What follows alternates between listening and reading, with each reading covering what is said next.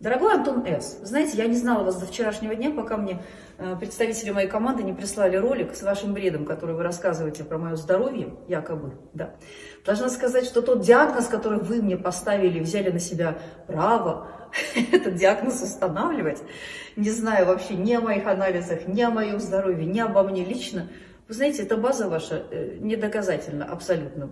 Результаты моих анализов совершенно потрясающие, и они известны только моему доктору и мне. Понимаете?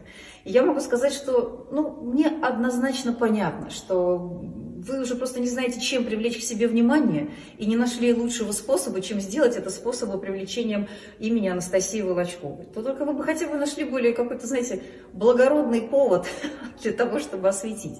Мой золотой, вы очень хотите, не только вы, а многие, чтобы у меня что-то было не так, чтобы у меня была какая-то проблема.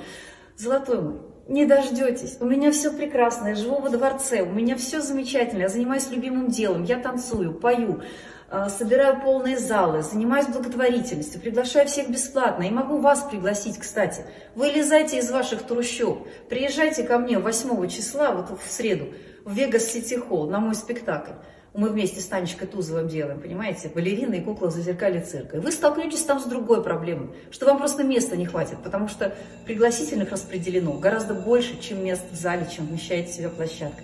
Поэтому своих трущоб сидите и воняйте сколько хотите, только, пожалуйста, не обо мне, не упоминайте мое имя в свой, пожалуйста.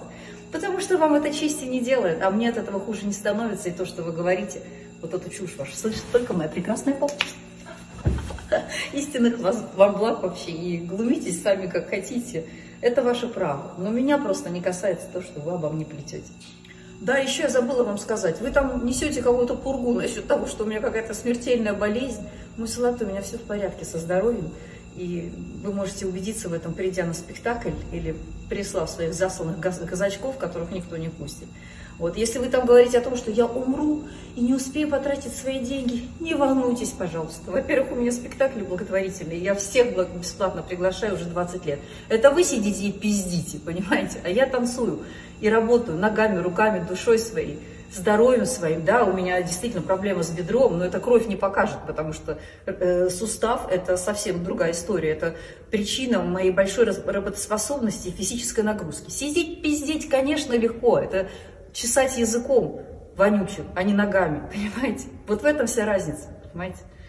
Вот и все, что я хотела сказать. Поэтому вы не переживайте, пожалуйста, за мой достаток, за мои деньги, за мою жизнь, за мое здоровье. Вы себя спасайте, потому что, судя по всему, вы просто моральный человек, не, ну, скажем, недалекий и ну, глупый, думаю, судя по всему, потому что вы делаете. Ну, это все, что я могу вам сказать, понимаете? Поэтому вот это ваше нищебродство духовное, вот что нужно спасать, понимаете? И вашу бестактность, и, знаете, недобропорядочность, и отсутствие мозгов ваших. Вот это надо спасать точно. И всех спасать нужно от вас. От такого просто, ну, скажем так, сброда, которого вы плескиваете, просто вонь какую-то несете. Но это ваш, это ваш уровень. Вот вы в болоте находитесь на дне. И не надо сравнивать, понимаете, жопу с пальцем. И когда вы лезете к королеве, то вы помните, что вы-то всегда в этом говне, в болоте в этом останетесь. Это уже просто безвозвратно. Пока неудачи.